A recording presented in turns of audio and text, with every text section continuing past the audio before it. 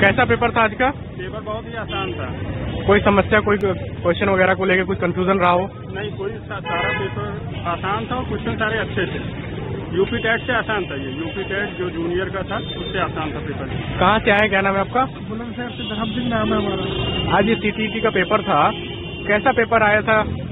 Paper कब था? सीटी पेपर था ये कैसा रहा पूरा आज का? बढ़िया रहा है हम लोग के हिसाब से अच्छा था कंफ्यूजन वगैरह कोई क्वेश्चन थोड़ा बहुत अच्छा